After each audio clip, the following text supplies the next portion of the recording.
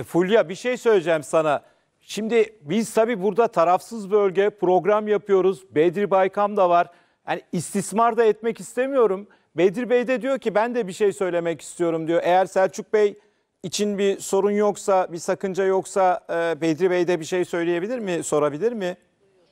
Ya bir dakika niye sorun olsun ben anlamadım. Hayır çünkü böyle bir şey konuşmadık. Hani soru Ya. programdakiler de soracak. Sohbette bir Basın toplantısına dönüşecek diye konuşmadık. Evet Teknovest'in e, ka- kapanışını konuşacaktık. Evet. E, şimdi e, e, Yani- Selçuk Bey. Asıl misyonumuz, asıl vizyonumuz oralardan yine Tamam. evet polemiği herkes çok daha Hayır polemik değil oraya- Selçuk Bey. Bakın Evet, ben de bir şey söylemek istiyorum. Yani minimum bir diyalog olsun. Şimdi bakın e, Selçuk Bey bakın. Buyurun. Rahmetli babamın dediği gibi başarıdan daha büyük başarı yoktur. Siz çok başarılı olmuşsunuz. Şirket olarak, birey olarak, e, grup olarak sizi tebrik ediyorum. Ya ben e, sizinle kişisel görüşmedim, tanışmadım. E, ben de sonuçta e, e, bu İHA'ları da, Kızıl Elma'yı da bütün bunları duyuyoruz, izliyoruz. Dünyadaki etkilerini duyuyoruz. Bunlar güzel şeyler. Bunların aksini söylemek mümkün değil.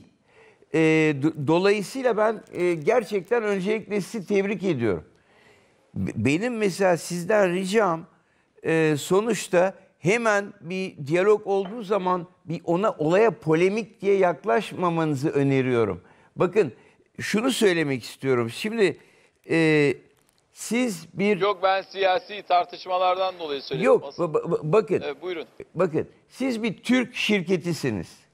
Çok başarılı bir Türk şirketisiniz. İhracat yapan, inovasyon yapan, e, dünyada ses getiren, e, dünya e, devleriyle alanınızda rekabete girişmiş bir büyük Türk şirketisiniz. Doğru değil mi? Sonuçta siz bir siyasi grup değilsiniz. Şu an ama ben Teknovest Yönetim Ba- Başkanı, Kurulu Başkanı sıfatıyla konuşuyorum burada. Aynı zamanda e, buradaki milyonlarca e, gencimizin Selçuk Tamam. abisi olarak o yüzden Tamam ama yanda o- izninizle bir şey söyleyeceğim size. o efsafta yapacağız E, diye. şimdi bakın, Güzel. Selçuk evet, Bey. buyurun. Yarın Türkiye'de seçim olacak. Hepimiz bunun e, barışçı bir şekilde, e, medeni bir şekilde oluşmasını istiyoruz. Öz- özetle iki grup var, iki e, büyük ittifak Bedri var. Bey. Cumhur İttifakı ve Biraz Millet- biri kısa- kazanacak. Çok kısa olacağım. Bunlardan diyelim Millet İttifakı kazanırsa sizin değeriniz veya varlığınız azalmayacak. Sizin bağımsız olduğunuzu, tarafsız olduğunuzu bir şekilde önce kendiniz hissetmeniz, sonra Türkiye'ye hissettirmeniz lazım. Sayın Erdoğan da Cumhurbaşkanı kalabilir. E, şimdi Başkası da olabilir. bu kadar politikleştirirsek... Hayır politikleştirmiyorum. Ama- Tam tersine Yani Sayın Selçuk Bayraktar'ın tarafsız bir şirket ve açılım olduğunu duymak istiyorum. Buyurun Selçuk Bey.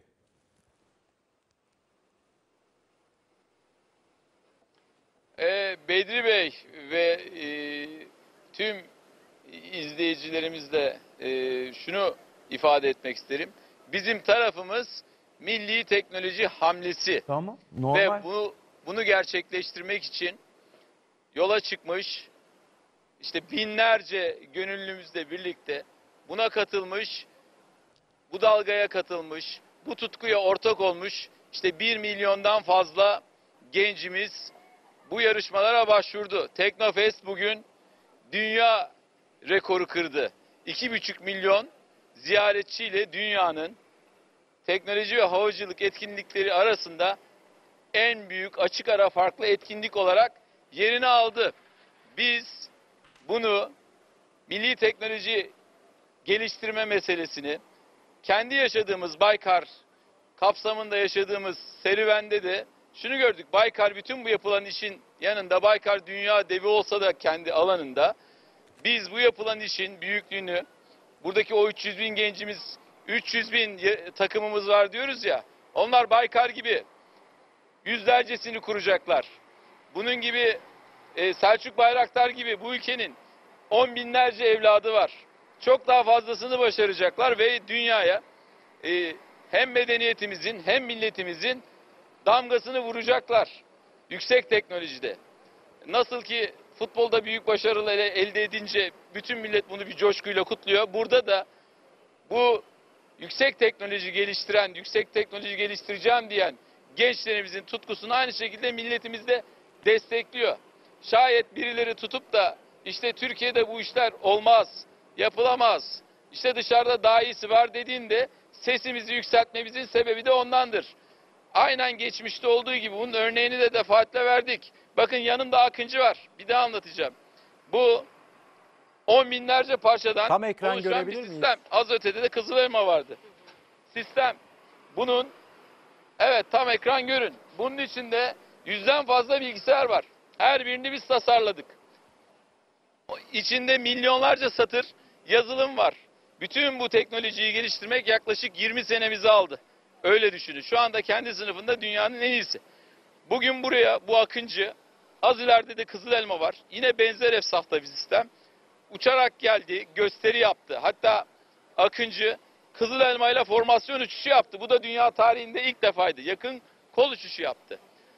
Dünya tarihinde ilk olacak şekilde bu gösteriyi yaptı. Yani dünya tarihine geçti. O yaptığı gösteriyle. Şimdi bu uçak görüyorsunuz e, 20 senelik birikimde yapıldı ya. Şu anda nerede duruyor göstereceğim. Şuraya zoomlarsanız havacılıkta çok önemli bir parça var. Göstereceğim. Görüyorsunuz değil mi? 1 milyon yani az önce bahsettiğim 1 milyon satır yazılım falan yok burada şu anda. On binlerce parça da yok. İki parçadan oluşan havacılıkta çok önemli bir bileşeni görüyorsunuz. Ben şimdi bunu Akıncı'nın önüne koyuyorum. Bu kadar basit de bunu koymak. Hiçbir yere gidemiyor. Ne o gösteriyi yapabiliyor, ne o dünya tarihini yazabiliyor, ne terörle mücadelede kullanılabiliyor. Ülkemizin güvenliği için. Şimdi şayet bu siyasetse Takoz takozu mesajı mı bu? Kaldırmak siyasetse bunu da milletimizin takdirine bırakıyorum. O takozu oradan kaldıramayan medeniyetler ne havacılıkta başarılı olabildiler ne uzaya çıkabildiler. Bizim yapmaya çalıştığımız bu ülkemizin yüksek teknoloji eserlerinin önündeki takozları kaldırmak gibi buraya başvurmuş 1 milyondan fazla gencimizin önündeki takozları kaldırmak.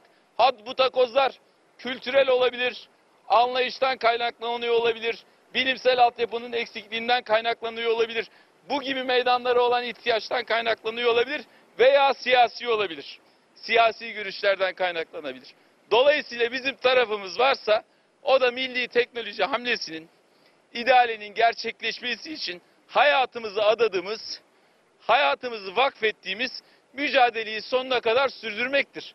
Bunun önüne de şayet böyle takozlar çıkıyorsa kaldırmak için elimizden gelen her şeyi yapacağımızı ben milletimizle paylaştım. Bu konunun tüm taraflarıyla da paylaştım. Ben bu mücadeleye takım arkadaşlarımla birlikte, yakın çalışma arkadaşlarımla birlikte on binlerce gencimizi, hatta milyonlarca gencimizi ortak ettim.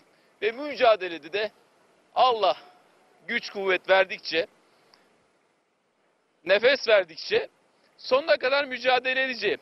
Fulya. Rahmetli babamın yaptığı gibi. Ve biz bu mücadeleyi verirken yol arkadaşlarımızla kimseyi siyasi görüşten dolayı ayırmadık. Her siyasi görüşten arkadaşımız da oldu. Her hayat tarzından arkadaşımız da oldu. Hem Baykar'da hem T3 Vakfı'nda hem Teknofest'te kimseyi siyasi sayıklarla ayrıştırmaya gitmedik. Tümüyle mesele milli teknoloji hamlesi idealine gönül vermeyle alakalı oldu. Ama hep şununla karşılaştık. Hep bir tarafgirlikle, hep bir siyasi ayrıştırmayla karşılaştık. Ve ben bunun sebebini de anlayamıyorum açıkçası. Yani takdir etmek niye bu kadar zor? Bize yani Bayraktar TB2'yi çalıştığımız her ülkeden, verdiğimiz her ülkeden takdirler geliyor. Dünyanın tüm basınında gün geçmiyor ki onlarca haber çıkmasın. A, rahmetli babama, bana, abime Azerbaycan'da madalyalar verildi. Yine Ukrayna'dan madalyalar verildi. Ondan sonra yakın zamanda Afrika'dan verildi. Ama Türkiye'de e, maalesef ki anladığım kadarıyla bu çok geçmişe uzanan bir kronik rahatsızlık. Ne zaman ki böyle gelişmeler olacak olsa bir şekilde akamete uğratıyor. Biz bu tarihin tekerrür etmesini istemiyoruz. Ülkemizin bir havacılık geçmişi oluşmaya başladı. Evet Ondan dolayı da milyonlar bugün buraya geldi. Günler içinde ben onu gördüm. İnsanlarla tek tek konuştum. Onlar da her şeyin farkında açıkçası. Yani bu işlerin ne kadar kolay, bütün bu projelerin, bütün bu hayallerin, bütün bu umutların ne kadar kolay akamete uğra- uğrayabileceğinin farkındalar. Belki sahip çıkmak için geldiler ve burada her renk vardı. Her renk. Burada bir yaklaşım hatası var. vardı. Bakın. Kim Selçuk Bey, desin, Selçuk Bey. Herkes ne olduğunu sizler de gördünüz. Sevgili Selçuk Bey izninizle bir şey söylemek istiyorum bakın. Buyurun. Şimdi burada mesela ben sizi çok takdir ediyorum dışarıdan bir insan olarak. Alkışlıyorum, takdir ediyorum. Benim size e, şahsen önerim şu olur. Bu takozların olmasını ben de istemem. Bir Türkiye Cumhuriyeti vatandaşı olarak.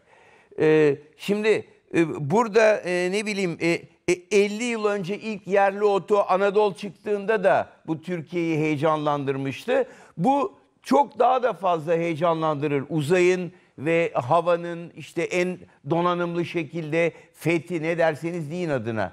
Şimdi burada benim size naçizane önerim mesela siyasiler birbirleriyle Son- e, son bu konu üzerinden Bir, ala- bir taraftan yürüyelim. Tamam. Tamam. E, siyasiler bu konu üzerinden birbirlerine laflar söylüyorlarsa bence siz bunun parçası olmamanız lazım. Mesela Sayın Erdoğan e, mandacılık dediği zaman sizin bunu tekrarlamamanız lazım. Bedri Bey dinlemediniz mi? Selçuk Bey de onu anlatıyor zaten. Tamam. Selçuk Bey'in anlattığı şeyin aksiyle onu suçlamaya çalışıyorsun. Onu anlatıyor zaten. Anlatamıyorum. edersen- Hayır hayır hayır. Hayır, öyle yok, mi? yok yok hiç araya Onun- girmeyin. Hiç öyle bir şey onun- yok. onun parçası olmak Selçuk değil. Bey Beyler, bu mandacılıktır dedi. Buna yılında- gerek yok. Artık- Neden? Beyler bir dakika. Selçuk Bey belki artık Selçuk Bey Ben belki bir Sayın Selçuk şey Kılıçdaroğlu sorabilir miyim? bunları anlattığımızda belki o Beyler, en çok Beyler, beyler bir dakika. Yani şey burayı sorabilir burayı Selçuk Bey'e yönelik bizler hani sen şöyle düşün, böyle düşün şekilde şekline dönüştürmeye gerek yok. Devam edeceğiz. Bir şey soracağım Bir, bir dakika arkadaşlar ya bir Ülkemizin milli teknoloji hamlesini Ben gençlerimizle birlikte gerçekleştirmek. Ama sesler yarın- karışıyor. Müsaade ederseniz Sel konuğum Selçuk Bey burada bir şeyler anlatmaya çalışıyor. Ee, Rica Evet. edeyim.